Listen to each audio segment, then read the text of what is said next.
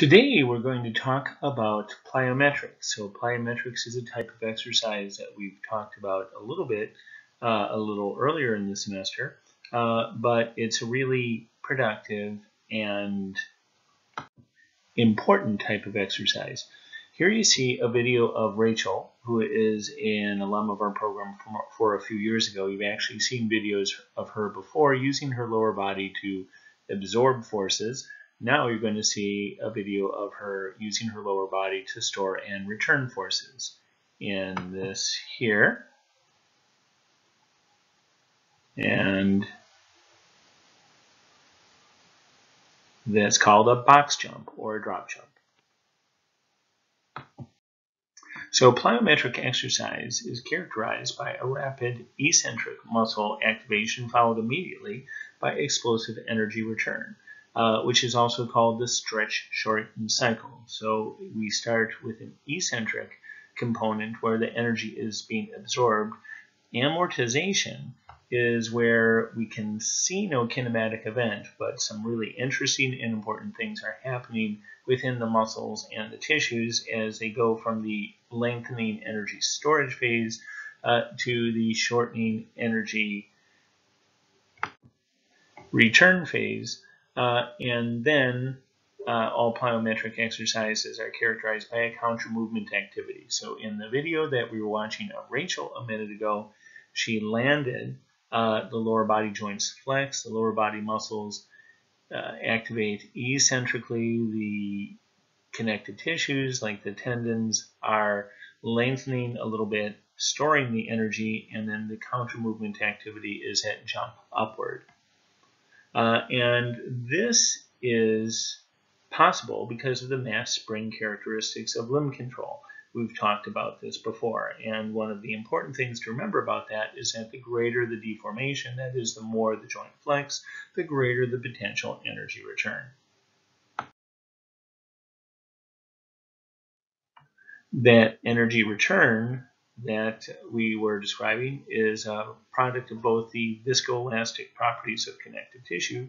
Remember, uh, one of the characteristics of a viscoelastic uh, material is that the faster you load it, the stiffer it becomes against deformation, and the, the neuromuscular pattern of mass spring characteristic of limb control. And for this reason, muscle recruitment intensity during maximal plyometric exercise is able to exceed that of maximal voluntary contraction. So why should we do plyometric exercises anyway? Uh, one is for the sake of muscle fiber adaptation. We've talked about this uh, several times over the course of the semester uh, that rapid eccentric contraction is on the one hand the most potentially damaging to muscle cells, but the upside of that is also it is the best at stimulating adaptive changes because it is a type of muscle uh, activation that requires the most adaptation. In addition to the tissue changes that accompany plyometric training, uh, there's also neuromuscular learning, motor learning that takes place. Uh, one of the really important things in most sports is the ability to change direction. Consider, for example, uh, running back in football who is dodging a tackle. The maneuver is called cutting, and it's when one or both feet uh, plant into the ground and then the individual rapidly changes direction. Uh, so plyometric training uh, allows an individual to improve in that neuromuscular skill uh, so that they can do two things. They can take full advantage of the energy return for the mass from the mass spring characteristics of limb control, uh, and they can align their lower extremities dynamically in such a way that it will help prevent injury uh, while doing those uh, activities. So how should we progress exercise? Well, first, it's probably helpful to start with no velocity and have patients or people whom we're using exercise to train just hold positions statically. That way the co-contraction helps the patients learn the correct alignment. Uh, and then once they show that they can hold the position statically, uh, then to progress to a slow speed, then finally a high speed. High speed is the most challenging so far as both neuromuscular control uh, and um, to the tissues, as we've talked about several times, because that high velocity eccentric contraction is causing the highest muscular musculotendinous tension. Uh, and then uh, once we start the high velocity training, uh, we start with single planar or the most simple types of uh, patterns in exercise. So as an example of single planar, a person might be hopping front to back or left to right, but not both at the same time. Uh, once they've mastered that uh, single planar type of motion uh, while maintaining really good alignment uh, and control, then they can progress to the next level, which is doing it biplanar. In that case, perhaps uh, starting with uh, jumping front to back and then alternating that with side to side. Uh, and then finally progressing to a triplanar variation, which would include perhaps a vertical dimension. Now, um, hopefully you'll get to meet uh, Mark Colson in the next few weeks, uh, but what he would say is do not progress a patient to the next level until they absolutely own the previous level. Uh, and also, I, is really helpful to when we progress the complexity of the movement, perhaps to decrease velocity. So for example, a patient may be doing the biplanar hopping uh, very effectively, uh, but then when we progress that patient to the triplanar uh, motion, we might want to start at slow speed and then progress to high speed. So remember these two variables uh, when you're prescribing the level of exercise that velocity and complexity of motion. Uh, and when you increase complexity, you might want to decrease velocity to allow the patient to learn it effectively. In addition to velocity, uh, and complexity of movement, another variable which we can manipulate is load. Uh, so uh, in rehabilitation, we would perhaps want to start with unloaded exercise because sometimes even body weight loaded exercise uh, is too much for a particular injured joint or tissue. So what we see in this picture on the upper right uh, is deep water running with flotation devices. That way we can get a very vigorous cardiovascular and muscular exercise. Uh, in fact, because there's no energy return, but with very low uh, both compressive loads on the joint and tensile loads on the muscles. We could advance that to include an external load, such as you see with the two athletes on the bottom left of the slide. As we have been talking about over the past few weeks in this class, uh, we can manipulate the effects of surface depending upon what we want. So for example, a hard energy returning surface decreases the demand of kinematic control, but it increases the demand on the muscles and tendons because of the velocity of eccentric muscle contraction that we have uh, with energy returning surfaces. Uh, so hard surface, easier for kinematic control if that's the problem, but harder uh, for muscle tendon injuries because of the high musculotendinous, musculotendinous tension. Uh, we can exercise on a damping surface uh, for a couple of reasons. Either because we want to decrease the musculotendinous load, and we've talked about that a bit over the course of the semester, or we want to increase the demand on kinematic control. Mm -hmm. Remember that the athlete or the person who is undergoing plyometric training should not progress to the next level until they can completely own the previous level. Uh, and the sequence uh, that we should pursue includes first the strength phase, and strength is slow speed movement, uh, followed by what is sometimes called the plyo support phase. In the plyo support phase, if somebody is learning a hopping or jumping exercise what that person does is land and freeze in position. That freezing in position helps them learn uh, what the alignment should be like by encouraging co-contraction of the muscles to help hold that correct position. Then finally, the performance phase, which includes the uh, the stretch phase, the amortization phase, and then the shorten phase, which is the explosive energy. So if somebody is beginning plyometric training, especially for the lower body, and most frequently it's done for the lower body, although it may be done for the trunk or upper body as well, uh, they will start with a squat or some variation with it. Uh, and we recommend that they start with the simplest variation, uh, a symmetrical type of squat, uh, maintaining coplanar femur, tibia, and calcaneus, uh, such as you see with the picture of the fellow here. Uh, and they would do that statically to help them learn the correct alignment. Uh, and then they could progress to a staggered type of squat aka a lunge, uh, which is, so far as neuromuscular planning, a little bit more challenging because of the asymmetrical uh, aspect of that. Uh, that again, the patient should start static to make sure that they can maintain alignment and balance during the exercise. Uh, and then they could progress to a unilateral squat.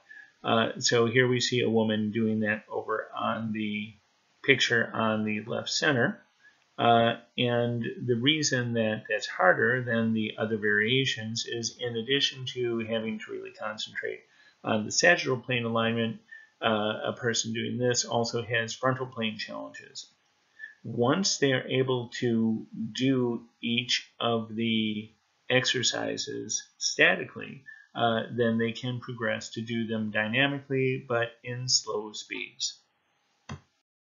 Once the patient is able to demonstrate good control and balance in slow speed, then we can progress to high speed landing strategy. So landing strategy that we're describing is landing from a hop or a jump and then freezing. That is that they're maintaining the position with flexion of the hips, knees, and ankles uh, such that they've just absorbed the force of the landing. Uh, that freezing allows them to maintain co-contraction of the muscles, which is an early phase of motor learning. So in that way, we're facilitating their learning of correct alignment and balance. Uh, but what happens to the heat is instead of the energy being dissipated as elastic recoil, uh, it is dissipated as heat. So a lot of heating up happens with this phase of the exercise. Once a patient is doing the plyometric exercise, uh, we can progress it. So first, uh, we can have the patient uh, maintain or ensure that they maintain alignment and balance with unexpected demands. So for example, with the woman who is doing the lateral hop, instead of just allowing her to do it laterally, we might command left, then backwards, then left again, then right, then backwards, uh, etc. Uh, so the directional uh, hop is unplanned. Uh, or we could her, have her do a ball toss uh, while she's doing this hopping exercise. Since the objective of plyometric exercises, especially for the lower body, is help, helping to develop uh, quick movement and quick change in direction. Uh, when the patients are practicing the jump patterns, uh, we encourage them to think of their body as an inverted funnel. That is, that their head and upper body are remaining in the same position uh, and their feet moving underneath them. Uh, so that if we were to look at it in multiple exposures, it would look like a funnel. This allows a way quicker reaction time because then the patient is not moving his or her entire center of mass. Next slide has some pretty detailed information about recommended dosage uh, in plyometric training. Uh, so I'll just let you read this and think about it if you're working with patients uh, or athletes uh, whom you're helping with conditioning with this type of exercise, one thing that I think uh, that is worthwhile for me to point out uh, is that the having adequate rest uh, in between the sessions appears to be really, really important for recovery. And recovery is really necessary for adaptation, which is what we're trying to cause. There are a few ways that you can adjust the dosage of plyometric exercise. The previous slide described number of foot contacts, but also you can do dose through intensity. In this slide, we consider the intensity of the plyometric exercise is measured by how much deformation uh, it is caused in the limb segments, usually the lower extremity, although it can be the upper extremity as well. Uh, so if the exercise is causing a greater amount of deformation, it's also causing greater intensity. And therefore, you'd expect for heavier, heavier people with greater body mass, uh, even if they don't have any external resistance, uh, to be experiencing more intensity doing the same exercise compared to a lighter person. It is possible to increase the intensity of plyometric exercises to the point where a single repetition would count for many foot contacts.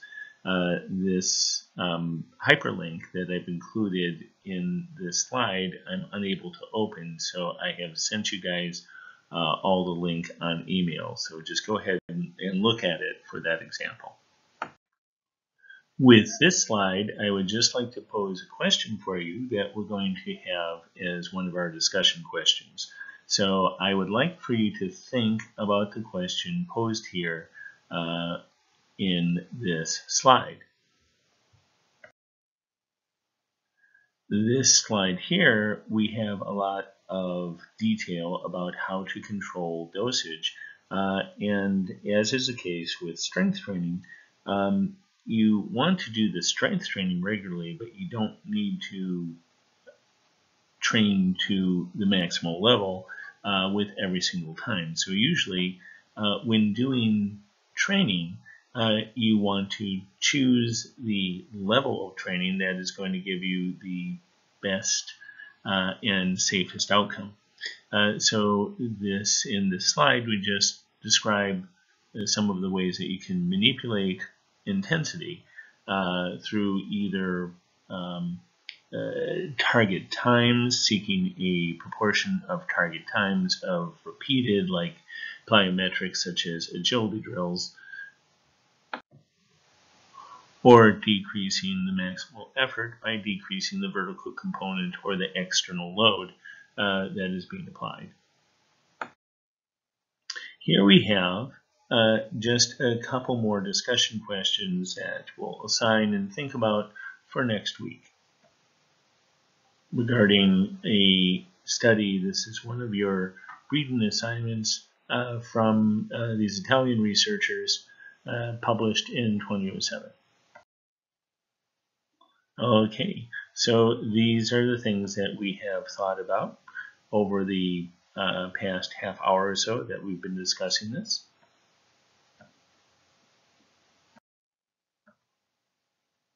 And I'm looking forward to talking to you and discussing some questions and hearing your ideas about